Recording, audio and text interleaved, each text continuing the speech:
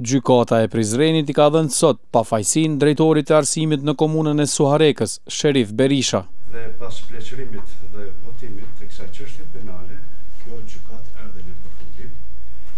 se jakuzori Sherif Berisha lirohet nga akuza dhe vetër penale kështë përdorimi të zites apo autoritetit zyrtojnë nga njënit 402 paragraf 1, lirohet dëmtura Fatmir shani për realizimin e kërkesë pasore e rëdikë, kërtesin e rëgutë të rëdikë civil, se për kërkesë dhe procedurale, ato bëjnë në bakë të mjetë e bugjetuar të kësën gjikate. Ai akuzohi për kesh përdorim dhe tyre pasi si pas akt akuzës e përkruris nuk rishpalli një konkurs për mësim dhënës në shkollën e mesme profesionale Abdul Rama të Suharekës, edhe pse kjo gjë ishte kërkuar nga sektori inspeksionit të arsimit të Prizrenit.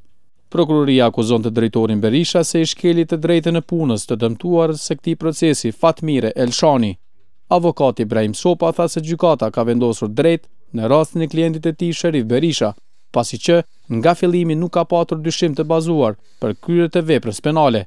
Përgjigje e Ministrisë Arsimit, Arsimit sipasi ishte vendimtare në këtë lëndë. dko ka bën disa ankesa e, Ministrisë së Arsimit, e cila ka dhënë një përgjigje me datën 23 gjashtë ku e ka shfuqizuar vendimit e drejtoriatit të inspektoriatit të arsimit në Prizren dhe kërkesën e dko në Suarek e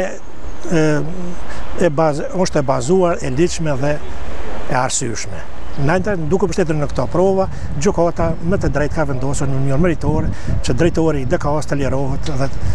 të pushon uh, gjitha, gjitha veprimit në dajti. Sherif Berisha u gjikua dhe në një proces tjetër gjyqësor të më hershëm duke u dënuar me 5 muaj burg, i cili u zëvëndsua me 4.000 euro gjobë për cenim të të drejtave të punësimit dhe papunësis, pasi punësoj 10 persona pa konkursë.